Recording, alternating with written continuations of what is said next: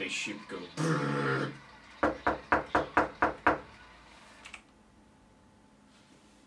It's here. It's here.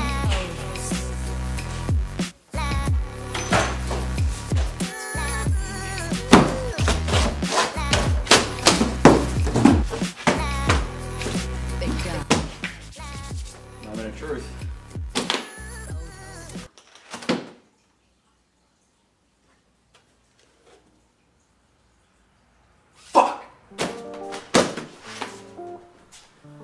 Here it is. The Skywatcher Evostar 72ED.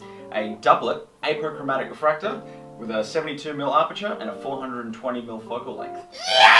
Let's take a closer look at this puppy. First things first, um, the scope comes in this lovely foam padded Skywatch travel case. Comes with a spare key as well. Um, these foam inserts can be removed, so if you want to add accessories in there for transport, you can. Uh, the OTA itself comes with a removable dew shield. It comes off just like that. The dust cap is threaded. It is not a pull pop dust cap, so do bear that in mind. I uh, ripped the dew shield off completely my first time.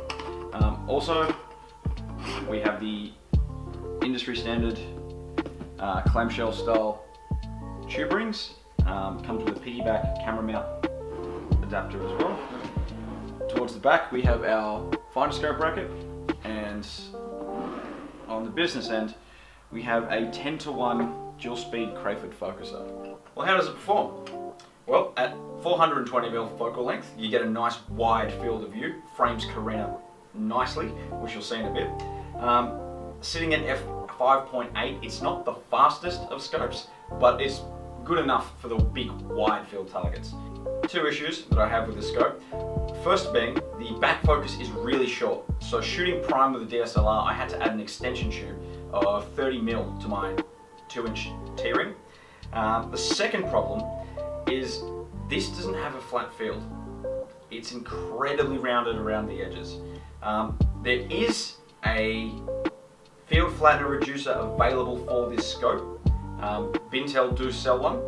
I would say that if you were to purchase this scope, definitely invest in the field flattener. I will be investing in one. But alas, let's have a look at uh, a frame we pulled from last night.